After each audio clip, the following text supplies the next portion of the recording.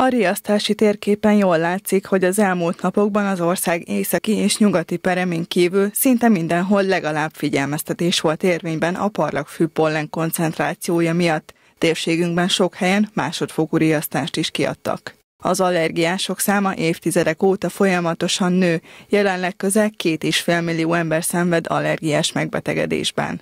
Közülük majdnem egy millióan kifejezetten a parlagfűre allergiásak. Számukra rossz hír, hogy ez megnöveli a további allergiák kialakulásának esélyét.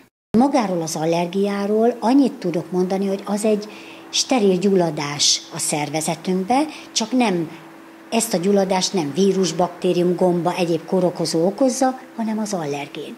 Ugyanazok a szöveti reakciók zajlanak, duzzad a nyálkahártya, bővebb váladékot termel, nagyon sokan szenvednek benne.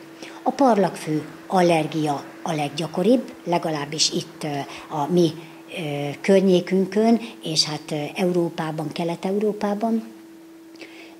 Erről se, magáról az allergiáról annyit tudunk, hogy megyénkben olyan, hát olyan 800-900 betegről tudunk, akik biztosra allergiások. Magyarországon 800 ezer körül van a allergiás aszmásoknak a száma, de majdnem 5000 a súlyos aszmásoké. Az allergia ma már egyre súlyosabb probléma, népbetegségnek számít. Nem csak az egészségügyi ellátórendszert és a gyógyszerkasszát terheli meg, de a szezonban egyre többen esnek ki a munkából is, annyira megnehezíti a mindennapokat. A panaszosoknak azonban fel lehet készülni a pollen szezonra. Kezdem lemosni a pollent. Mint ahogy lemossuk a bőrünkről, a hajunkról, cseréljük a ruhát, a belső bőrünk, a nyálkahártyánk, az szennyeződik leginkább, mert arra nedves szem, orr, légúti, mélyebb légúti nyálkártyára rátapad rengeteg pollen.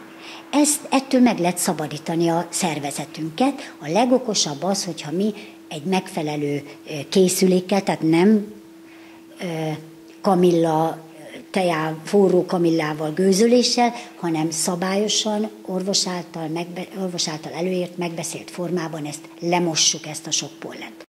A gyógyszereseknek azonban már a legapróbb tünet megjelenésekor érdemes elkezdeni a kezelést. Az allergia legjellemzőbb tünetei az ordugulás, orfolyás, szemkönnyezés és viszketés.